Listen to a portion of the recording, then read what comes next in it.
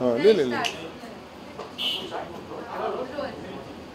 सबसे पहले तो क्या second year of blunt anniversary so क्या कहना चाहेंगे और सब- आपके एसोसिएशन विद ब्लॉन्ड सबसे पहले तो मैं यही कहना चाहूँगा कि बी ब्लंट को अलावा जैसी खूबसूरत जगह मैंने नहीं देखी है।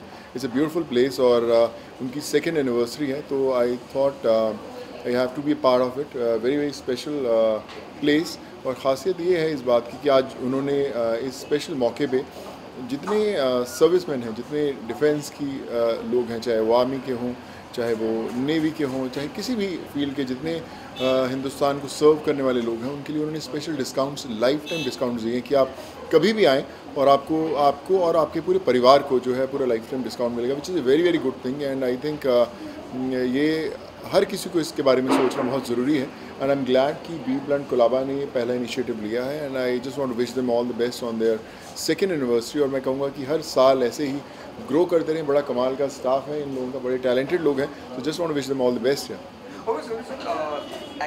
हाँ जो लाइफ बहुत हेक्टिक गई और हमेशा काम और मेकअप्स एंड ऑल सो ये ब्लॉन्ड में आके या स्पा में आके कितना स्ट्रेस फील लगता है? क्योंकि मेकअप एंड और हर टाइम रहना या आई वुड से यही जगह हैं जहाँ पे you know you can relax you can groom yourself you can pamper yourself आप अपना ध्यान रख सकते हैं। तो बड़ा ज़रूरी है कि आप uh, खुद का ध्यान रखिए। रोज़मर्रा की ज़िंदगी में जब आप इतने व्यस्त होते हैं भाग दौड़ में व्यस्त होते हैं तो आप अपना समय निकाल कर आ सकते हैं और you can just take care of yourself I think that makes these places very special है ओके सर ब्यूटी की बात करें तो ऐसा बॉलीवुड में ऐसा कौन सी ब्यूटी है जिसको आप देखकर बहुत ही आपको पसंद है या अट्रैक्ट करते हैं। जैसे आपके फिजिक की बात करें तो आपके नाम पहला आता है। तो ब्यूटी का अगर नाम लिया तो कौन पहला आता है नाम? नहीं मुझे लगता है कि आ, आ, बहुत सारे हमारे बॉलीवुड में बड़े खूबसूरत एक्टर्स हैं एक्ट्रेसेस हैं सब खूबसूरत हैं। इसी कारण यू नो इतनी कमाल की फ़िल्म बनती हैं और they they all inspire people to stay fit खूबसूरत दिखना हर किसी की ज़रूरत है और आई एम ग्लैड कि लोग जो हैं वो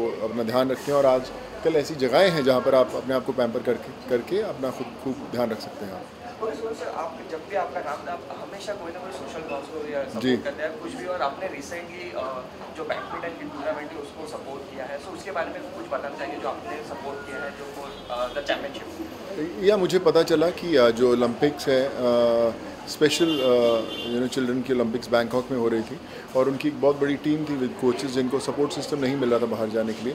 और देन दे कॉल्ड मी मुझे पता भी नहीं था कि वो बैडमिंटन के, पर मुझे इतना पता था कि छः खिलाड़ी ऐसे हैं जिनको जाने के लिए रिसोर्स नहीं है टिकट्स नहीं है, सब कुछ नहीं तो I just want to sponsor them कि मैं छोटा सा बिट कर सकूँ अपनी तरफ़ से और वो लोग जाकर हमारे देश को रिप्रेजेंट कर सकें और खेल सकें। And I think that was the best thing that could happen. बड़े लोग खुश थे वहाँ पर जाने के बाद।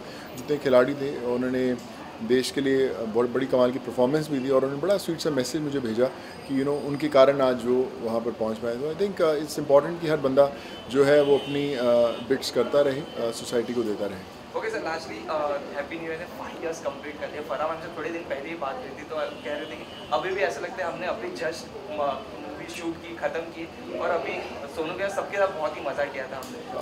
I would say कि New Year uh, will always be one of the most special films that I did.